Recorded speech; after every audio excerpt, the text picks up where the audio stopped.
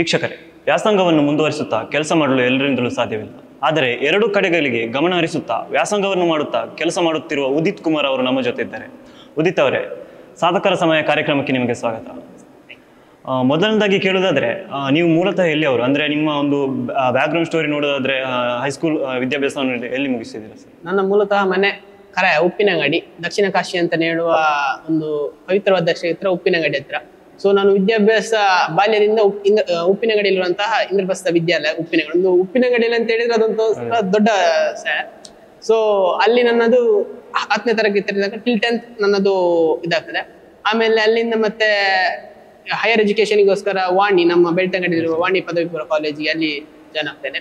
So for again further ಈಗ ಡಿಗ್ರಿಗೋಸ್ಕರ S D M ಅಲ್ಲಿ ಈಗ ಬಿಯೋಗ್ ರಿಟೇಲ್ ಅಂಡ್ ಸಪ್ಲೈ ಚೈನ್ ಈಗ ಮಾಡ್ತಿರುವಂತದ್ದು. ಅದೇ, ಈಗ ನೀವು ಈಗ ಆ ಒಂದು ನಿಮ್ಮ ಕಲಿಕೆಯ ಜೊತೆ ನಿಮ್ಮ ಒಂದು ಕೆಲಸವನ್ನು ಕೂಡ ಮಾಡ್ತಾ ಇದ್ದೀರಾ? ಅಂದ್ರೆ ಈ ಒಂದು ಕೆಲಸ ಮಾಡ್ಬೇಕಂತ ನಿಮಗೆ ಒಂದು ಮೈಂಡ್ಗೆ ಹೇಗೆ ಒಂದು ಐಡಿಯಾ ಬಂತು, ಆಲೋಚನೆ ಬಂತು?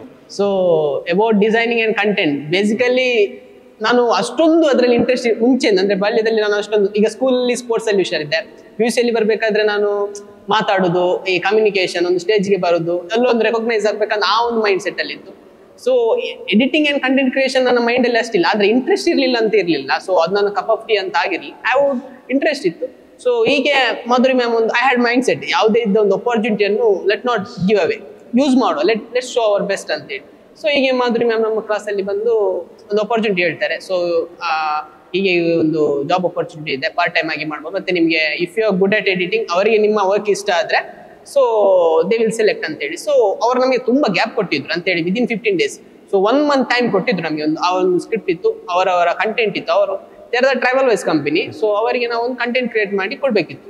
ಸೊ ನಮ್ಮಲ್ಲಿ ಕೆಲವೊಂದು ಪಾರ್ಟಿಸಿಪೆಂಟ್ಸ್ ಕೊಡ್ತಾರೆ. ನಾನು ಟ್ರೈ ಮಾಡ್ತೇನೆ ನನಗೆ ಆಗುವಷ್ಟು ಬೇರೆ ಬೇರೆ ಯೂಟ್ಯೂಬಿಂದ ನೋಡಿ.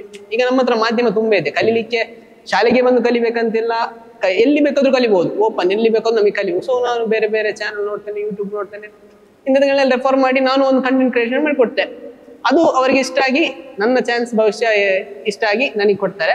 ಸೊ ಅಲ್ಲಿಂದ ಅವ್ರು ನನ್ನನ್ನು ಹೇಳ್ತಾರೆ. ಸೊ ನಿಮ್ಮ ಕಂಟೆಂಟ್ ಕ್ರಿಯೇಷನ್ ಇಷ್ಟ ಆಗಿದೆ ವರ್ಕ್ ಮಾಡಿ ಚೆಂದಾಗಿದೆ ಸೊ ಇನ್ನಷ್ಟು ನಿಮಗೆ ನಾವು ವರ್ಕ್ ಕೊಡ್ತೇವೆ ಇಂಟ್ರೆಸ್ಟ್ ಇದೆಯಾ ಸೊ ಅಫ್ಕೋರ್ಸ್ ನನಗೂ ಈ ಕಲಿಕೆಯಲ್ಲಿ ಒಟ್ಟಿಗೆ ಇನ್ನೊಂದು ಕಲಿಯುವುದು ಅಂತ ಹೇಳಿದ್ರೆ ಇಷ್ಟನೇ. ಕಲಿ, ಜೀವನ ಒಂದು ಕಲಿಕೆ. ಕಲಿತಾನೆ, ಪ್ರತಿ ಕ್ಷಣ ಕಲಿಯುವುದು ಒಳ್ಳೆಯ ವಿಷಯನೇ. ಸೊ ಹಾಗೆ ಮುಂದುವರಿತಾ ಮುಂದುವರಿತಾ ಅದೇ ಕಂಟೆಂಟ್ ಕ್ರಿಯೇಷನ್ ಒಂದು ಈಗ ಇದಾಗಿದೆ.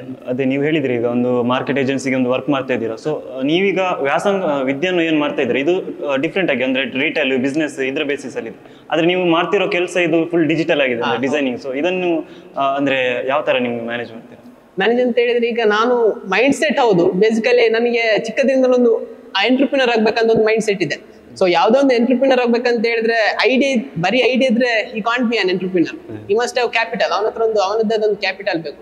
ಕ್ಯಾಪಿಟಲ್ ಬೇಕಂತ ಹೇಳಿದ್ರೆ ಅವನು ಬೇಸಿಕಲಿ ದುಡಿಬೇಕು ಬಿಸ್ನೆಸ್ ಅಂತ ಹೇಳಿದ್ರೆ ಸಡನ್ ಮಾಡ್ಲಿಕ್ಕೆ ಆಗಲ್ಲ. ಅವನಿಗೆ ಎಕ್ಸ್ಪೀರಿಯನ್ಸ್ ಇರ್ಬೇಕು. ಕಾಪರೇಟಿವ್ ವರ್ಲ್ಡ್ ಹೇಗಾಗ್ತದೆ? ಹೇಗೆ ಇರ್ತದೆ? ಅಂಥದ್ದೆಲ್ಲ ಎಕ್ಸ್ಪೀರಿಯನ್ಸ್ ಇರ್ಬೇಕು. ಸೊ ಇದು ಒಂದು ರೀತಿ ಎಕ್ಸ್ಪೀರಿಯನ್ಸ್ ಈಗ ಒಂದು ಬಿಸ್ನೆಸ್ ಅಲ್ಲಿ ಮಾರ್ಕೆಟಿಂಗ್ ಒಂದು ಪಾರ್ಟ್ ಆಗ್ತದೆ. ಬಿಸ್ನೆಸ್ ಮಾಡ್ಬೇಕಂತ ಹೇಳಿದ್ರೆ ಆ ಮಾರ್ಕೆಟಿಂಗ್ ಆ ಮಾರ್ಕೆಟಿಂಗ್ ಅಲ್ಲಿ ನಾನೀಗ ಕಲಿತಿರ್ತೇನೆ. ಸೊ ಯಾವ ರೀತಿ business ಗೆ ಮಾರ್ಕೆಟ್ ಬೇಕಾಗ್ತದೆ ಯಾವ ರೀತಿ ಮಾರ್ಕ್ ಸ್ಟ್ರಾಟಜಿಸ್ ಗಳನ್ನೆಲ್ಲ ಯೂಸ್ ಮಾಡ್ತಾರೆ ಯಾವ ಥೀಮ್ ಯಾವ ಸ್ಟ್ರಾಟಜಿ ಯಾವ ರೀತಿಯ ಪ್ಲಾಟ್ಫಾರ್ಮ್ ಗಳೆಲ್ಲ ಅವರು ಮಾರ್ಕೆಟಿಂಗ್ ಮಾಡ್ತಾರೆ. ಅಂಥದ್ದೆಲ್ಲ ಇನ್ ರಿಲೇಟೆಡ್ ಕಂಪ್ಲೀಟ್ ಸ್ವಲ್ಪ ಸ್ವಲ್ಪ ರಿಲೇಟೆಡ್ ಆಗಿ ಆಗ್ತದೆ ಅಂತ ಹೇಳಿ ಹಾಗೆ. ಎಸ್ ಈ ಕಡೆ ವಿದ್ಯಾಭ್ಯಾಸ ಈ ಕಡೆ ಕೆಲಸ ಅಂದ್ರೆ ಪಾರ್ಟ್ ಟೈಮ್ ಮಾಡ್ತಾ ಇದ್ರೆ ಇದೆರಡರ ಮಧ್ಯೆ ಹೇಗೆ ಟೈಮ್ ಮ್ಯಾನೇಜ್ ಮಾಡ್ತೀರಾ? ಅಂದ್ರೆ ಯಾವ್ದಕ್ಕೆ ಜಾಸ್ತಿ ಟೈಮ್ ಕೊಡ್ಬೇಕು ಯಾವ್ದಕ್ಕೆ ಜಾಸ್ತಿ ಟೈಮ್ ಕೊಡಬಾರ್ದು? ಸೊ ಇದನ್ನು ಹೇಗೆ ಡಿಸೈಡ್ ಮಾಡ್ತೀರಾ? ಅಂದ್ರೆ ನಾನೊಂದು ಸ್ಕೆಡ್ಯೂಲ್ ಮಾಡ್ತೇನೆ ಲೈಫಲ್ಲಿ ಈಗ ಈಗ ಫುಲ್ ಟೈಮ್ ಅಲ್ಲ ಪಾರ್ಟ್ ಟೈಮ್ ಆದ ಕಾರಣ, ಆ ಪಾರ್ಟ್ ಟೈಮ್ ಅಲ್ಲಿ ಯಾವ್ಯಾವ ವರ್ಕ್ಗಳು ನಾನು ಟ್ರಾವೆಲ್ ಬಯಸಿಕೊಂಡು ನಾನೀಗ ಕಂಪನಿ ಯಾವುದೆಲ್ಲ ಕೊಡ್ಲಿಕ್ಕೆ ಉಂಟು ನಾನು ಅವರಿಗೂ ಗೊತ್ತಿರ್ತದೆ ಅಂದ್ರೆ ಇಷ್ಟು ಎಜುಕೇಶನ್ ಸೊ ಎಕ್ಸಾಮ್ ಟೈಮಲ್ಲಿ ನಾನು ಎಜುಕೇಶನ್ ಜಾಸ್ತಿ ಟೈಮ್ ಕೊಡ್ತೇನೆ. ಸೊ ಕ್ಲಾಸ್ ಟೈಮಲ್ಲಿ ಮುಂದೆ ಕ್ಲಾಸ್ ಅಂತ ಕೇಳ್ತೇನೆ ಕ್ಲಾಸ್ ವರ್ಕ್ಸ್ಗಳನ್ನೆಲ್ಲ ಕಂಪ್ಲೀಟ್ ಮಾಡಿ ಕ್ಲಾಸ್ ವರ್ಕ್ಸ್ ಆದ ಮೇಲೆ ಉಳಿತದೆ. ಅಫ್ಕೋರ್ಸ್ ನಮ್ಮ ಹತ್ರ ಟೈಮ್ ಬೇಕಾದಷ್ಟಿದೆ. ಈಗ ಆಸ್ ಆಫ್ ಸ್ಟೂಡೆಂಟ್ ಈಗ ಹೇಳ್ಬೇಕಂತ ಹೇಳಿದ್ರೆ, ತುಂಬಾ ಟೈಮ್ ಇದೆ.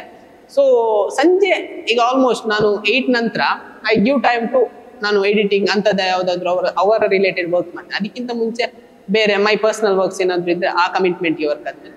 ಆಫ್ಟರ್ ಏಯ್ಟ್ ಎಂತ ವರ್ಕ್ ಇದ್ರು ಯೂಶುವಲಿ ನಾನು ಯಾವುದು ಕಂಟೆಂಟ್ ಕ್ರಿಯೇಷನ್ ಮಾಡೋದು ಅವರ ಆ ಕಂಪನಿ ರಿಲೇಟೆಡ್ ಯಾವ್ದಾದ್ರು ವರ್ಕ್ ಒಂದು ಟಿಲ್ ಟೆನ್ ಲೆವೆನ್ ಓ ಕ್ಲಾಕ್ ಆಮೇಲೆ ಬೇಸ್ಡ್ ಆನ್ ವರ್ಕ್ ಯಾವ ವರ್ಕ್ ಇರ್ತದೆ ಆ ಟೈಮ್ ಬೇಸಿಸ್ ಮೇಲೆ ಆ ರೀತಿ. ಅಷ್ಟೊಂದು ಕಷ್ಟ ಅಂತ ಆಗುದಿಲ್ಲ. ಆ ಟೈಮ್ ಮ್ಯಾನೇಜ್ ಮಾಡ್ಲಿಕ್ಕೆ ಇದು ಮಾಡ್ಲಿಕ್ಕೆ ಟೈಮ್ ಉಳಿತದೆ ಪರವಾಗಿಲ್ಲ. ಅದೊಂದು ತುಂಬಾ ಕಷ್ಟಕರವಾದ ಕೆಲಸ ಅಷ್ಟೇ ಇರ್ಲಿ. ಇನಿಷಿಯಲ್ ಸ್ಟೇಜ್ ಅಲ್ಲಿ ನಮಗೆ ಸ್ವಲ್ಪ ಕಷ್ಟ ಆಗ್ತಿತ್ತು. ಸೊ ಈಚೆ ಮಾಡಲಿ. ಅಂದ್ರೆ ವರ್ಕ್ ಕಂಟೆಂಟ್ ಕ್ರಿಯೇಷನ್ ಇಸ್ ಅಷ್ಟು ಸುಲಭದ ಕೆಲಸ ಅಲ್ಲ. ಥಿಂಕ್ ಮಾಡಬೇಕು ಯೋಚನೆ ಮಾಡಬೇಕು ಮತ್ತೆ ಪರ್ಫೆಕ್ಷನ್ ಬರಬೇಕು. ಆ ಬಂದ ಮಾಡಿದಂತ ಎಡಿಟ್ ಅಲ್ಲಿ ಪುನಃ. ಕರೆಕ್ಷನ್ಸ್ ಇರ್ತದೆ.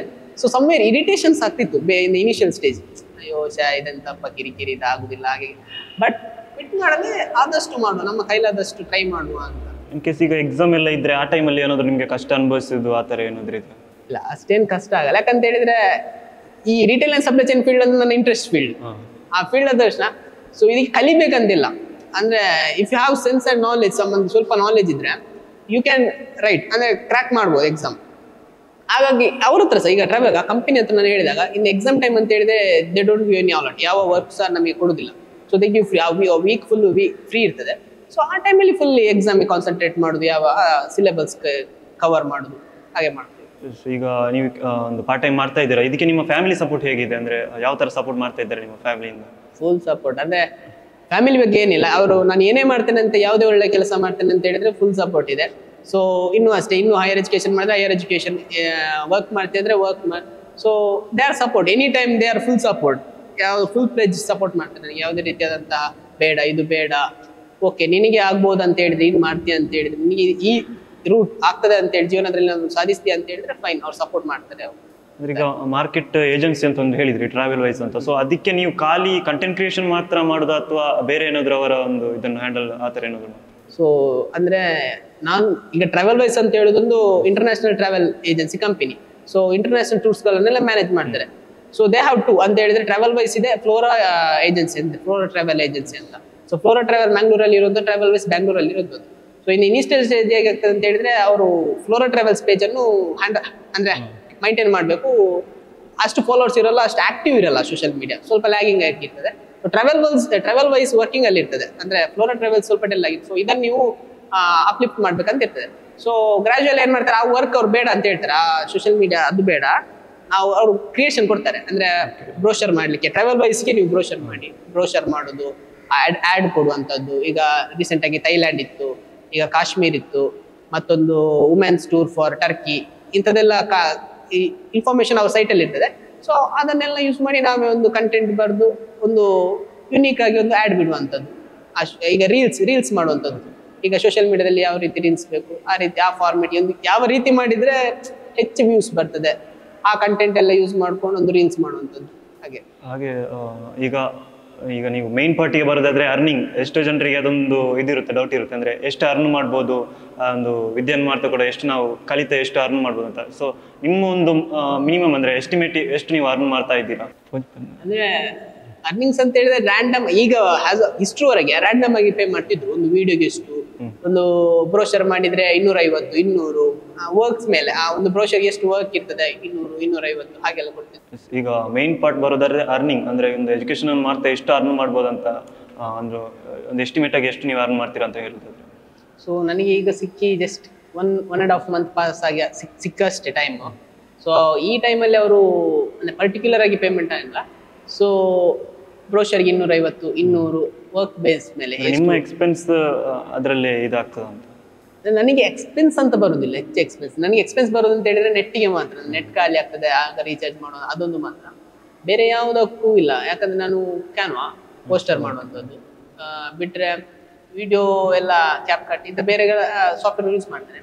ನೆಟ್ ಮಾತ್ರ. ನಾನು ಯೂಡಿಯೋಸ್ ವಿ ಸಾರಿ ವೀಡಿಯೋಸ್ಗಳೆಲ್ಲ ಸ್ಟಾಕ್ಸ್ಗಳಿಂದ ಡೌನ್ಲೋಡ್ ಮಾಡ್ತೇನೆ. ಬೇಕಾದ ಸ್ಟಾಕ್ ವೀಡಿಯೋಸ್ಗಳೆಲ್ಲ ಡೌನ್ಲೋಡ್ ನೆಕ್ಸ್ಟ್ ಕೊನೆಯದಾಗಿ ಕೇಳೋದಾದ್ರೆ ನಿಮ್ ಈಗ ಎಷ್ಟೋ ಜನ ಕಲಿತಾ ಇರುವವರಿಗೆ ಒಂದು ಸಜೆಷನ್ ಬೇಕಿರುತ್ತೆ. ಅಂದ್ರೆ ಈ ಕಡೆ ಕೆಲವು ಕಲಿತಾ ಇರುವಾಗಲೇ ಒಂದು ಕೆಲಸ ಮಾಡ್ಬೇಕಂತ ಎಷ್ಟೋ ಜನಕ್ಕೆ ಆಸೆ ಇರುತ್ತೆ. ಆದ್ರೆ ಅವರಿಂದ ಅದು ಆಗೋದಿಲ್ಲ.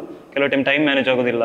ಯಾವುದಕ್ಕೆ ಜಾಸ್ತಿ ಟೈಮ್ ಕೊಡೋದಂತ ಇದು ಅವರಿಗೆ ಗೊತ್ತಿರೋದಿಲ್ಲ. ಸೊ ಅವರಿಗೆ ನೀವು ಒಂದು ಸಜೆಷನ್ ಕೊಡೋದಾದ್ರೆ ಏನು ಹೇಳ್ತೀರಿ? ಅವ್ರಿಗೆ ಏನು ಹೇಳ್ತೀನಿ ಅಂತ ಹೇಳಿದ್ರೆ ಎಜುಕೇಶನ್ ಲೈಫ್ ಅಲ್ಲ. Education is a part of life ಅಂತ ಹೇಳಿದ್ರೆ, ಬರೀ ಕಲಿತೇನೆ ಡಿಗ್ರಿ ಮಾಡ್ತೇನೆ ಎಂ ಬಿ ಎ ಸರ್ಟಿಫಿಕೇಟ್ ಇಟ್ಕೊಳ್ತೇನೆ ಇಸ್ ನಥಿಂಗ್ ನನ್ನ ಪ್ರಕಾರ. ಮತ್ತೆ ಗೊತ್ತಿಲ್ಲ. ಅಂತ ಹೇಳಿದ್ರೆ ಎಲ್ಲರೂ ಡಿಗ್ರಿ ಮಾಡ್ತಾರೆ. ಎಲ್ಲರೂ ಕಲಿತಾರೆ ಎಲ್ಲರೂ ಡಿಗ್ರಿ ಮಾಡ್ತಾರೆ ಡಿಗ್ರಿ ಆಗಿ ಪಾಸ್ ಔಟ್ ಆಗ್ತಾರೆ ಪಾಸು ಆಗ್ತಾರೆ. ಈಗ, ಈಗಿನ ಪ್ರೆಸೆಂಟ್ ಟ್ರೆಂಡ್ ಅಲ್ಲಿ ಎಲ್ಲರೂ ಪಾಸ್ ಆಗ್ತಾರೆ.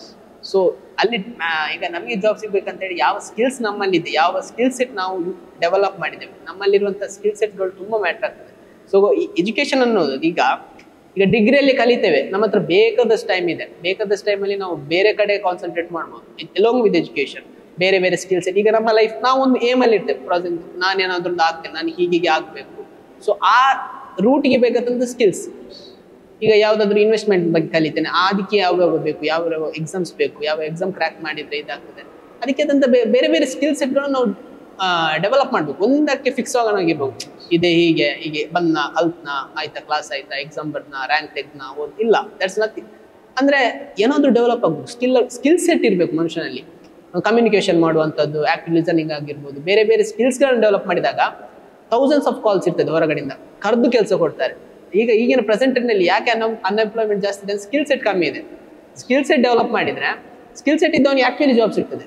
ಹಾಗೆ ಸ್ಕಿಲ್ ಸೆಟ್ ಅನ್ನು ನಾವು ಇಂಪ್ರೂವ್ ಮಾಡಬೇಕು. ನಮ್ಮಲ್ಲಿ ನಮ್ಮಲ್ಲಿ ಯಾವ ಸ್ಕಿಲ್ಸ್ ಇದೆ, ಅದು ಅದನ್ನು ಇನ್ನಷ್ಟು ಸ್ಟ್ರಾಂಗ್ ಮಾಡ್ಕೊಳ್ಬೇಕು. ಸ್ಕಿಲ್ ಇದ್ರೆ ಯಾವ ಜಾಬ್ ಕೂಡ ಮಾಡ್ಬೋದು ಅಂತ ಒಂದು ಯಾ ನಾನು ಎಕ್ಸಾಂಪಲ್ ನಾನು ಡಿಸೈನಿಂಗ್ ಅಂತ ಹೇಳಿದ್ರೆ ಈಗ ಕಂಟೆಂಟ್ ಕ್ರಿಯೇಷನ್ ಅನ್ನೋದು ಐಡಿಯಾನೇ ಇಲ್ಲ. ಅಂತ ಹೇಳಿ ನೋಡಿ ಈಗ ಯೂಟ್ಯೂಬ್ ಅಲ್ಲಿ ರೀಲ್ಸ್ ಗಳಲ್ಲೆಲ್ಲ ನೋಡ್ತೇನೆ ಅಂತ ಬಿಟ್ರೆ ಬೇರೆ ಐಡಿಯಾ ಇರಲಿಲ್ಲ. ಕಲ್ತೆ. ಕಲೀಲಿಕ್ಕೆ ಆಗ್ತದೆ. ಅದನ್ನ ನಾನು ಕಲ್ತೆ. ನಮಗೆ ಗೊತ್ತಿದ್ದನ್ನು ನಾವು ಕಲ್ತ್ರೆ ಬ್ರಾಡರ್ ಕಾನ್ಸೆಪ್ಟ್ ಈಗ ಎಡಿಟಿಂಗ್ ಅಂತ ಹೇಳುದು ಅಷ್ಟು ಸುಲಭದ ಮಾತಲ್ಲ. ಒಂದು ಹೇಳ್ಬೋದು ಮಾತಲ್ಲ. ಅದು ತುಂಬಾ ಕಲೀಲಿಕ್ಕೆ ಉಂಟು. ಅದೇ ಒಂದು ಸಾಗರ.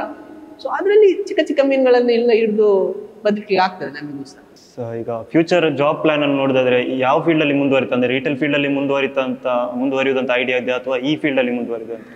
ಸೊ ನನ್ನ ಪ್ಯಾಷನ್ ಬಂದು I want to be an entrepreneur ನನ್ನದಾದಂಥ ಒಂದು ಬಿಸ್ನೆಸ್ ಮಾಡಿ ಸೊ ಐ ವಿಲ್ ಬಿ ಬೇರೆಯವ್ರಿಗೆ ಒಂದು ಕೆಲಸ ಕೊಡಬೇಕು. ಅಂಥದ್ದೊಂದು ಒಂದು ಪ್ಯಾಷನ್ ಸೊ ಈಗ ಪ್ರೆಸೆಂಟ್ ಫಸ್ಟ್ ಈಗ ಎಜುಕೇಶನ್ ಅನ್ನೋದು ಮುಗಿಸುವ. ಅಂತ ಹೇಳಿದ್ರೆ ನನ್ನ ಹೈಯರ್ ಎಜುಕೇಶನ್ ಎಜುಕೇಶನ್ ಈಗ ಈ ಡಿಗ್ರಿ ಬೇಡ. ಸೊ ಎಂ ಬಿ ಎ ಮಾಡುವಂತ ಅಥವಾ ಬೇರೆ ಯಾವುದಾದ್ರು related education higher education studies ಮಾಡಿ ಕಂಪ್ಲೀಟ್ ಮಾಡಿ. ಮುಂದೆ, ಅಂದ್ರೆ ಈಗ ಫಾರ್ ಎಕ್ಸಾಂಪಲ್ ಹಾಗೆ ಹೇಳಿದಾಗೆ ಕ್ಯಾಪಿಟಲ್ ಬೇಕಾದ್ರೆ ಹೇಳಿದ್ರೆ ಸ್ವಲ್ಪ ಕೆಲಸ ಮಾಡಲೇಬೇಕು. ನಮ್ಮ ಸ್ವಲ್ಪ ಕ್ಯಾಪಿಟಲ್ ಗೇನ್ ಆಗಬೇಕಂತ ಹೇಳಿದ್ರೆ ನಮ್ಮ ಹತ್ರ ಸ್ವಲ್ಪ ಇನ್ಕಮ್ ಇರಬೇಕು ಸೋರ್ಸ್ ಆಫ್ ಇನ್ಕಮ್ ಇರಬೇಕು.